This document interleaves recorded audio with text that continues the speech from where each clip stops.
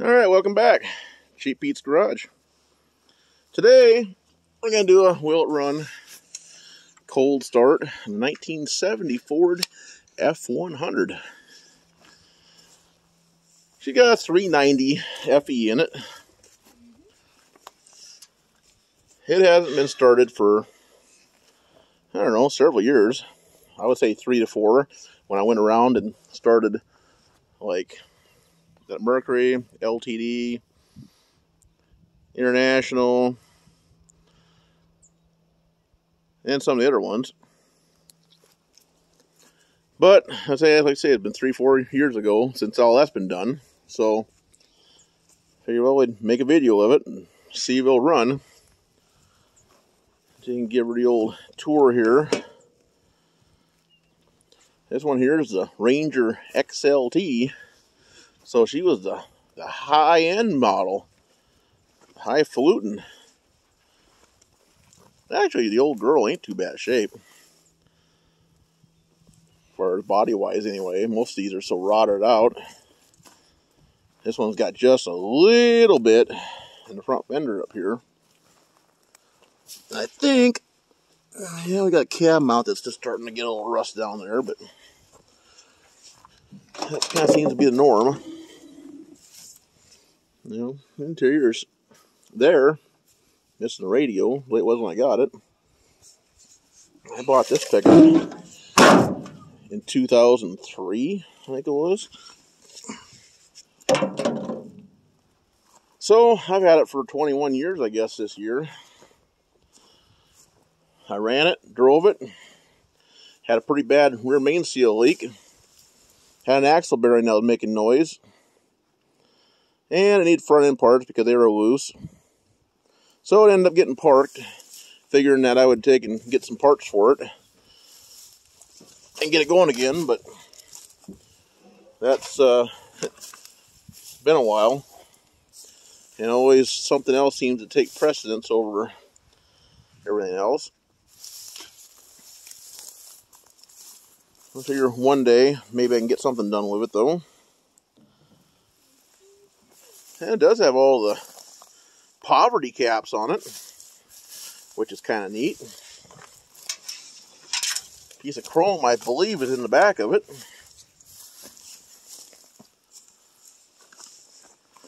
The grill's missing a few little slats in it, but it's mostly there. So I'll bore you done. I'm done boring you guys of a bunch of trivial stuff. You guys want to see startage, not me standing around talking. So here we go with it. We'll put some gas in the carb. I can't get the key to crank it from the inside, so I'm going to have to jump the solenoid. But we'll have Mr. Assistant turn the key on for me. And we'll see what happens with it.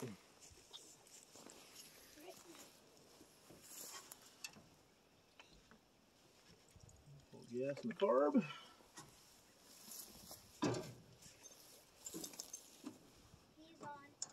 All right, here we go. First start in three or four years, I hope.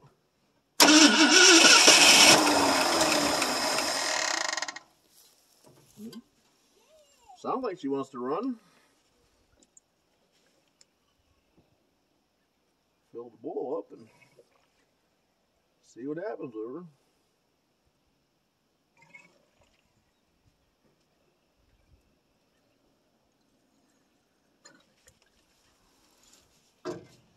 All right, here we go again.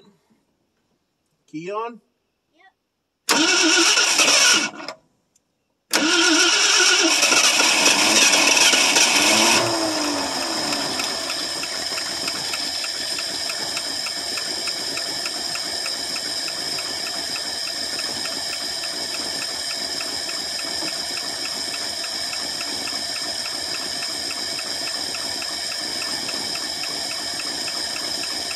You don't know, brother?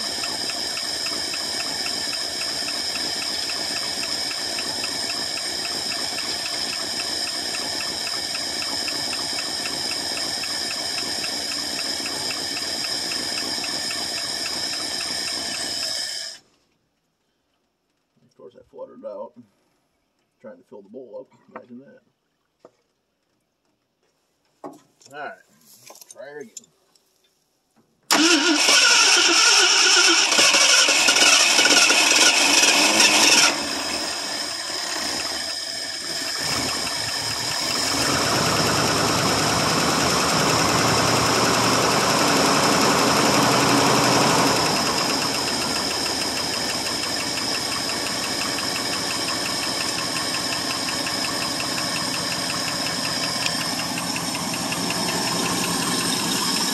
She don't run bad.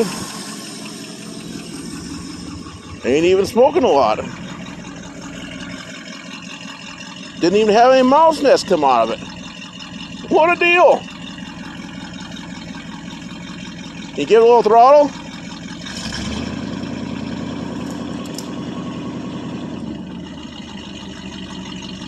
Do it again.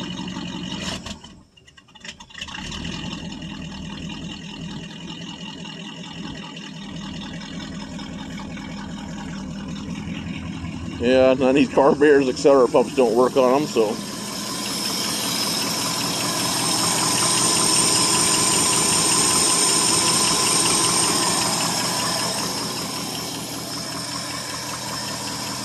Got a little lifter noise, but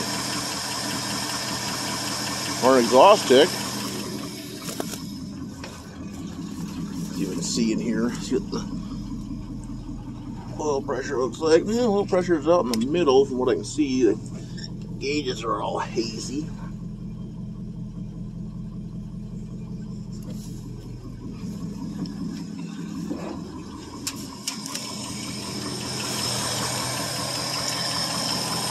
I'm guessing the old engine's probably kind of wore out, but otherwise going to take and stick another engine in it. But I've yet to do that, obviously.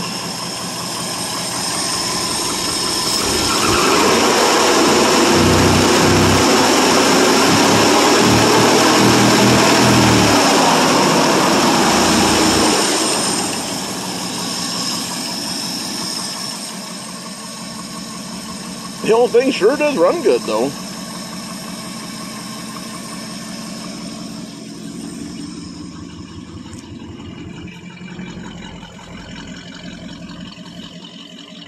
She's not even taking blowing any smoke either.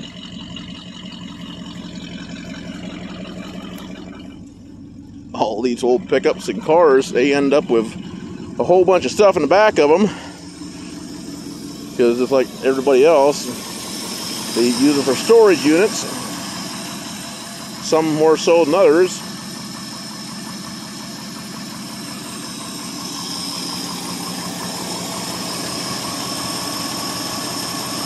considering it's been 21 years since this thing's been actually driven it does run pretty nice like I say, it had a rear main seal leak that took a quart of oil in about 100 miles, though. That was the main reason not doing anything else with it.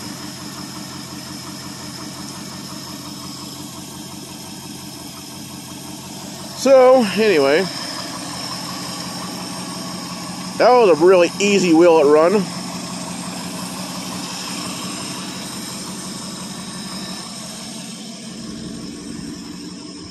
Give it a little throttle.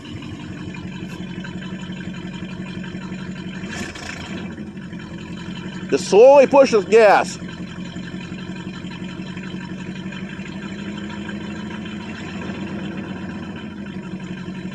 More.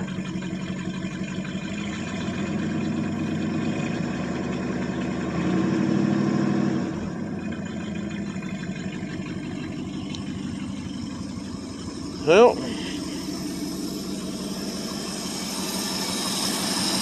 I suppose.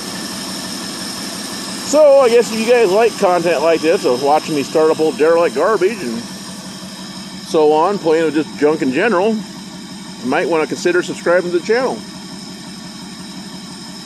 Comment, share, like, what have you. So, we got more coming down the pike, so I'm going to leave it at that. So, as always, thanks for watching. And till next one, bye.